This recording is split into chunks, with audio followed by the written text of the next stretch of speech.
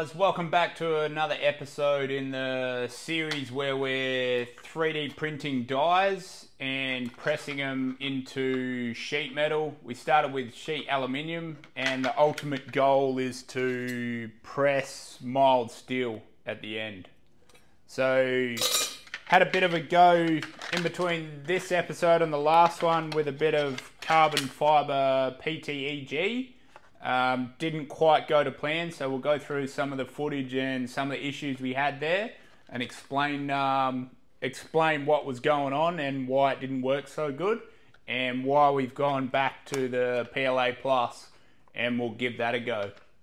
Like always, thanks for watching and appreciate any of your comments, likes, uh, all of that. Thanks for supporting the channel. Once again, huge shout out to a good friend of mine, Brett, for helping us with the design and printing aspect of all these dies and changes that we're making during the process. So if you've seen some of the other videos in the series already, uh, either the first or second episode, you would have seen we started off doing a fair bit of testing on the aluminium and ended up uh, towards the end of the second episode we got good definition out of the 1.2 aluminium and we also tried the polyurethane method so using the bottom die and compressing some of this polyurethane down.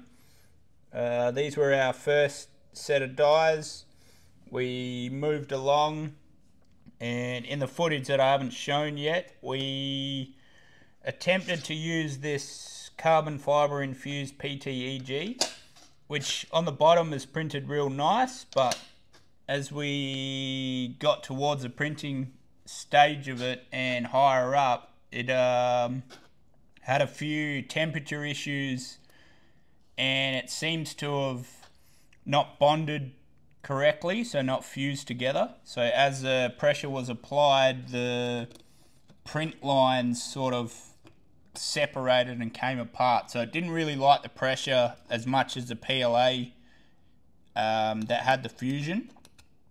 So you can see these are fairly deformed now. I did have a go at printing some one mil mild steel and it took a lot of pressure and it took a lot of toll on these dies. Um, we did get, we got a bit of definition out of it, um, but the sheet I had was, or the sheet I picked up was actually quite hard.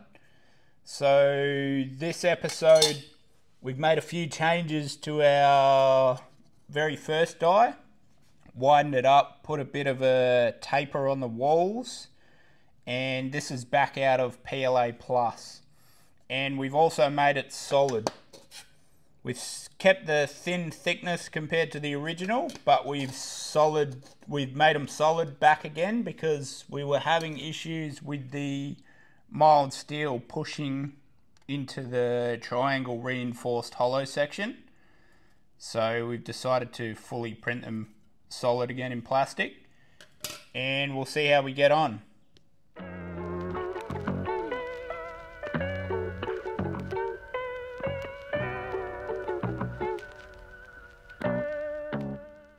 cut some more coupons out with the help of uh, a friend of ours, Guillotine. Big shout out to Signbiz WA. Uh, this is 0.5 aluminium, so like all the videos, we'll press a couple of those first and just see the shape of the die and how it works out. And then we will move into this 0.8 mild steel. So this is about the thinnest mild steel I can find that's uh, not galvanized or Colorbond or anything. So hopefully we'll have a better chance with this stuff. Just gonna spray our sheet down with a bit of WD-40, um, load it up into our dies, and we'll bang it in the press. Load it up in the press here, you can see one of our early ones on display. Usually it doesn't take a whole lot to press this, uh, 0.5. So we're about bottomed out there, about three or four ton on the gauge, and we'll let it off.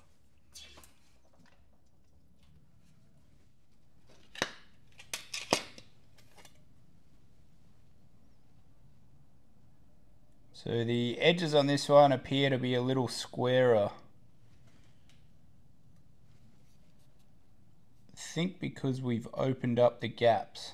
So these ones will look slightly different to the previous versions. With our new design, you'll see it's slightly different down here where the bottom of the gear shifter is and these triangles. We actually redrew the design a bit to try and aid us in the uh, material manipulation. So there's a difference, bit difference up here with the 8. Um, printed a lot smaller this time. So we might have to widen that back out to fill the tolerance in uh, and a lot more material gap through here so it might reduce the pressure so much on the dies and maybe we'll have a bit of a better chance got another one loaded up. We might push this one a little bit harder just to see if we can get some better uh, definition into that 8 it has shrunk uh, a little during the print but we'll see how we go.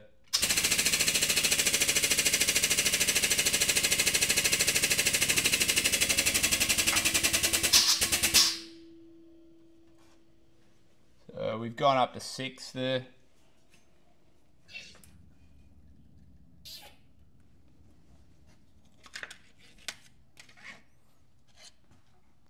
So it's coming out nice and easy. And very similar. So the 8's definitely going to have to get bigger. But overall, the definition's nice and sharp.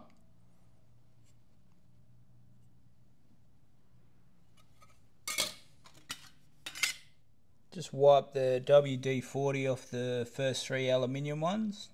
So the overall definition's pretty good. It is struggling around here with the 8, like I mentioned before. Uh, but now the real test, the dies, these dies still look good, so not real any issues with the 0.5 aluminium. They really hold up well. You could probably print 50, I reckon.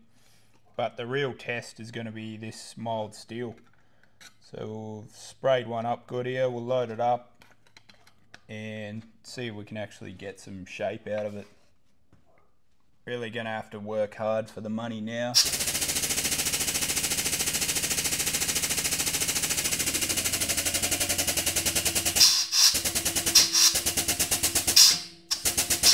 So it looks like we're squeezed pretty flat all the way around at about 12 12-ish tons.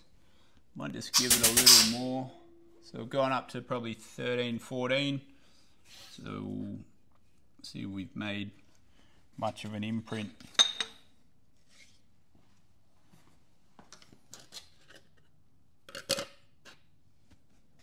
Popped open real easy.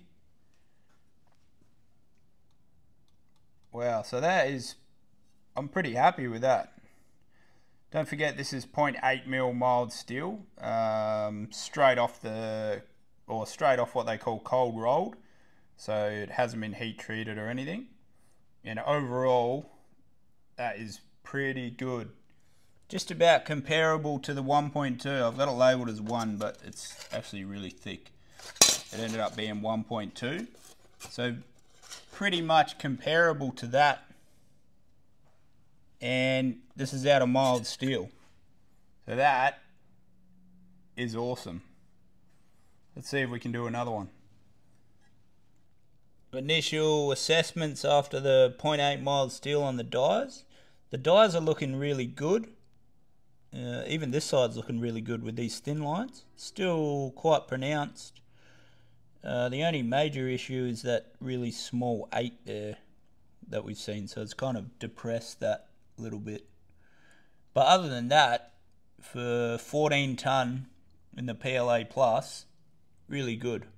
Another piece of mild steel loaded up. I reckon we'll push this one to about 20 and see how we get on.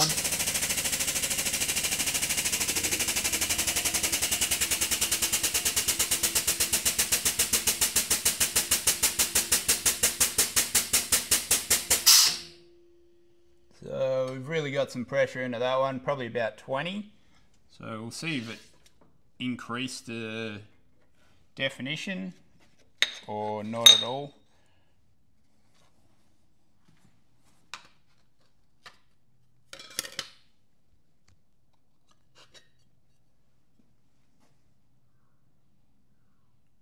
Pretty damn good. So overall, very happy with actually the amount of definition that we did get out of it.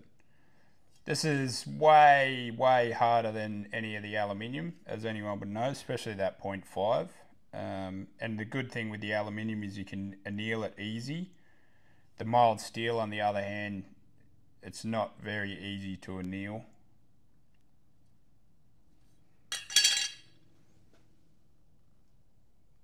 So overall, I'd call it a great success. If we could try and get a little bit more out of that 8 there, I'd be pretty happy. Uh, but for the PLA Plus dies, they will think they will still go. They doesn't seem to be much overall damage at all. Even on these really thin lines, these ones in the center here are probably only 2 mil wide and our height was only 1.5 so we still got a lot of that height there. And overall the thickness uh, the backing thickness is only about 3 mil. When we first started this project we made them I think the backing thickness was about 7 mil and these were solid plastic so they were really quite big and they took quite a while to print. And uh, new changes, we're not using anywhere near as much material and time on the print. So to stamp that image into 0.8 mild steel, cold roll, I'm over the moon with that. That's probably going to do it for this one. So overall, real happy with how they turned out today um, after the few changes we made and we sort of steered away from that carbon fibre infused PTG. I guess if we had more time and we spent more time with uh, tip temperatures and all of that stuff, we probably could get it to go better. But it really didn't seem to like the amount of pressure that the PLA Plus or the melted plastic likes. So thanks for watching. Don't forget to drop a comment. Check out the other videos if you haven't already and appreciate all the support. Cheers.